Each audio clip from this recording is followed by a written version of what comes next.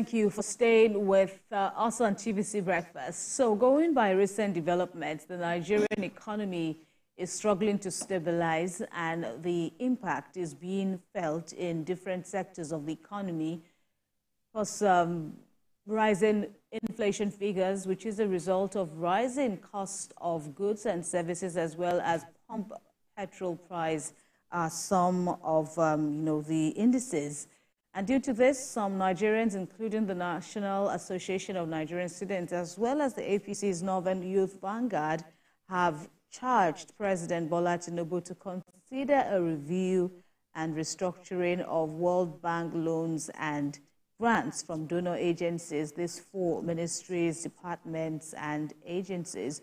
Well, for them, the restructuring will help ensure that the loans and grants are used for projects with visible impact and cut down on wastage or resources which the country needs at this time. And they say uh, in the past, money secured from donor agencies for capital projects financing have witnessed poor execution.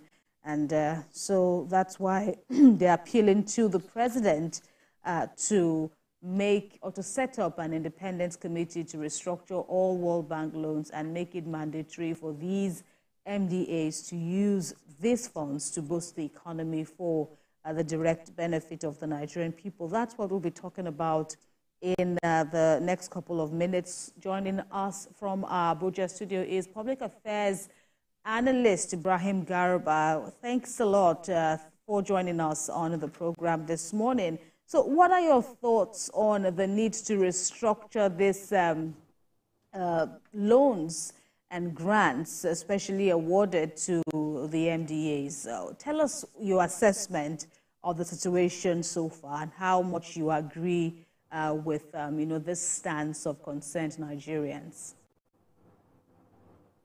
Oh, well, thank you very much, uh, Kemi and Theophilus, for having me on your program this morning. Uh, let me start by saying that, uh, or saying Happy New Year to you, both of you and all Nigerians. Thank from you very much. Happy New Year um, to you. you well, you have uh, actually captured the essence of uh, this conversation this morning.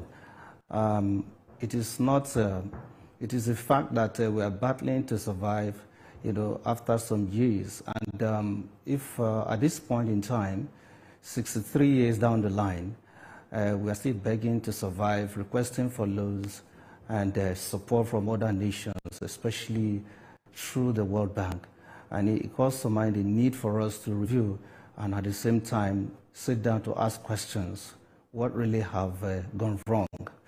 And one of those things that we found out was um, most of these facilities, rather the World Bank loans and grants coming to Nigerians, basically they are meant for advocacy, meetings, and um, consultancy services. And we found out also these monies are not well spent. Some of them are kept somewhere and you cannot access them. In, in fact, when you are or rather when you are requesting for loan or grant, you should be specific how you intend to spend the money and it comes with terms and conditions. But then it is the bonus is on us to devise ways and means we can spend this money because you know you and I understand that um, the economy is in bad shape. We need uh, the inflation rate is very very high, and we need to you know give out money for people to invest in businesses and all that. But thank God for the faith Nigerians have in this economy that um, as at last week Friday, we heard that the Nigerian Stock Exchange recording so much gain uh, between 8 months, 69%. So we see the stock exchange market rising. But then we need to look at other wide areas. And that is why we are calling and appealing to Mr. President, you know, Section 130 of the 1999 Constitution empower him to act on behalf of Nigerians as the CNC. These monies are available. We have secured this loan. These grants are there. But there's a need for him to sit down, set up a committee to review some of these loans. We need to restructure these loans. I use this word restructure because uh, there's an urgent need for us to plan for execution. Otherwise, this money will still be domiciled. This money will still not be available for the MDAs to, you know, have access to it. But at the same time, you find that some of these monies, you know, are not properly utilized the way it is meant for. And um, there's a need for urgent review. And that's why we say, okay, raising our voices at the local level, calling on Mr. President to please address these issues. And the most important thing for him to do now is setting up a committee that will even comprise of the NFIU, EFCC, ICPC, and other qualified Nigerians to look at it critically. How can we implement these loans and how can we spend this money so that we can, you know, take people out of poverty?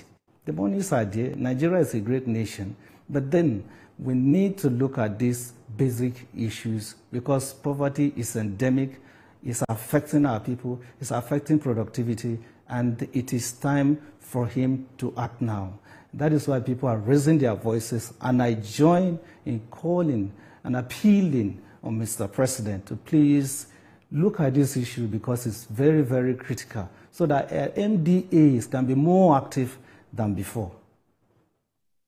Okay, so looking at your last statement, President should look at these issues, but there have been concerns, and even if you look at this issue critically, um, many have opined that um, despite the fact that the Nigerian economy is stabilizing uh, and the fact that the impact is still felt in different sectors of the economy, uh, such as rising inflation amongst others, there seems to be this belief that if the loans are restructured, then it will ensure that this goes directly to handling projects.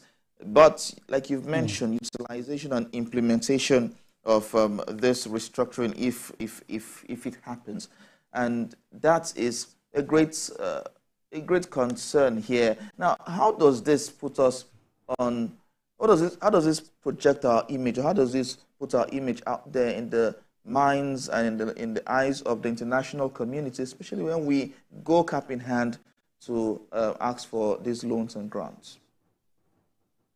Well, it's an unfortunate situation, like I told you. If at this point in our national life, we continue to seek for loans, we continue to beg, you know, nations for support and all that. Well, um, most of these things or these loans, they usually come with terms and conditions. But by the time uh, Mr. President sit down to look at this, there's a need for him to study what are the intent, what is it meant for, and uh, if I take you back to the COVID-19 period, when this uh, Ministry of uh, Humanitarian Affairs you know, was set up. You know, a lot of money was appropriated, monies were spent uh, between that time and 2023. Almost 1.5 trillion was uh, uh, was disbursed to that particular uh, uh, ministry, and you find that it's not impactful. Nigerians are not feeling the impact, and it is time for us to look at this thing critically. What can we do within the present time to take Nigerians out of this, uh, this situation we find ourselves. The only way we can tackle this problem is by supporting and rather appealing to Mr. President, sit down again, look at this, have a meeting with uh, the ministries, department, and agencies of government, key sectors of the economy that we believe that needs immediate attention monies are available, spending this money is always difficult. And that is why you find out in a budget cycle, you find out almost 25% of this uh, budget allocated to these ministries are spent. Majority are left idle. But whereas these loans are restructured, these monies will be available and um, the MDAs will now have the opportunity to sit down and said, okay, what are the critical sectors of the economy begging for attention? We need to develop infrastructure. We need to, you know, set up PHCs at the world level, at least within the 774 local governments we have in the country. We need to empower women at the local level. We need to take bold steps towards, you know, improving on our economy. But to do that, to achieve that, we need money. And these monies are available. But if you cannot access it, how can the MDAs implement it?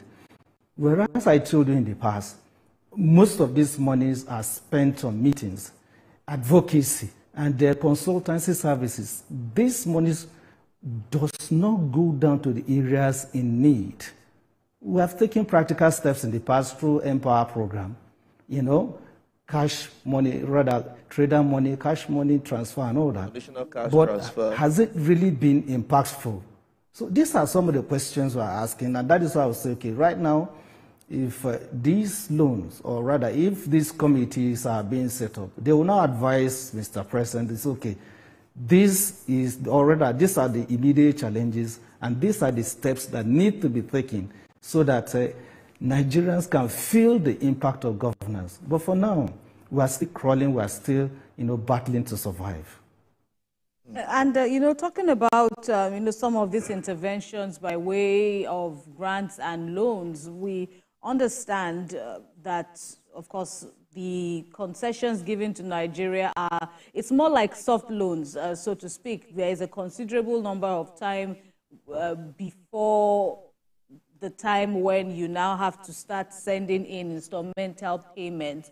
And some of these projects are also for poverty alleviation, but as you have said, um, it, it, the results are usually not palatable, not within the expectations or the reason why these loans, loans and grants were given.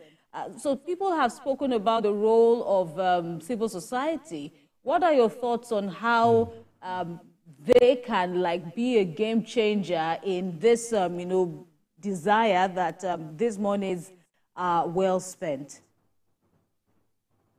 Oh, thank you very much, uh, Kemi. You've rightly captured, you know, what I was thinking earlier on, that uh, there's a need for positive engagement with the, those in the private sector and those in the civil society organizations. Uh, these are, you know, these are organizations that have the real statistics, they have the data on the current state of the economy, you know, and uh, you cannot work in isolation.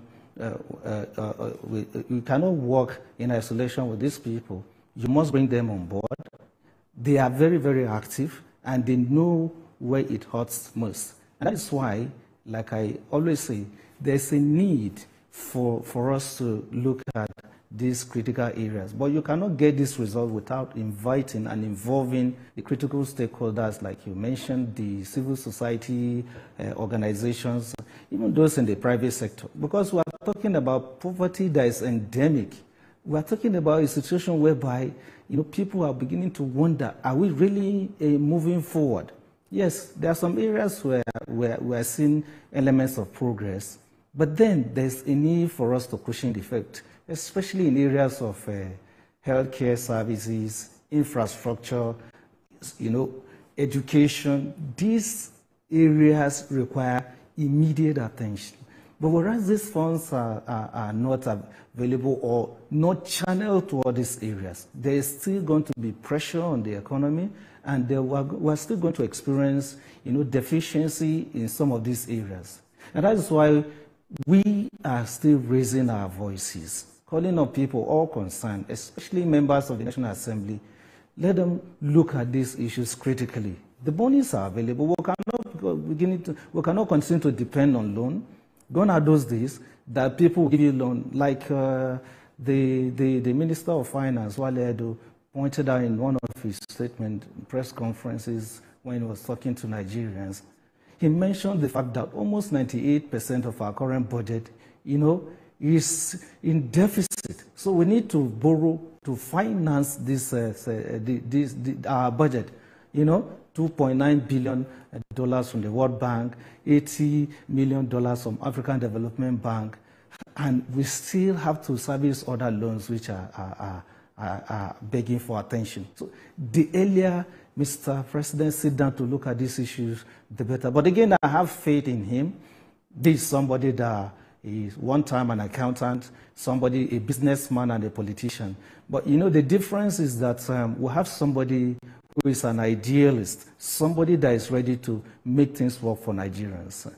All we need to do as Nigerians to rise up and support these initiatives, add our voices to it, so that this opportunity we have now having him at the helm of affairs will benefit greatly because I see him with a vision. He wants to turn things around for, for Nigerians. But then you and I have a role to play to support him to achieve that and take us to the, to the promised land.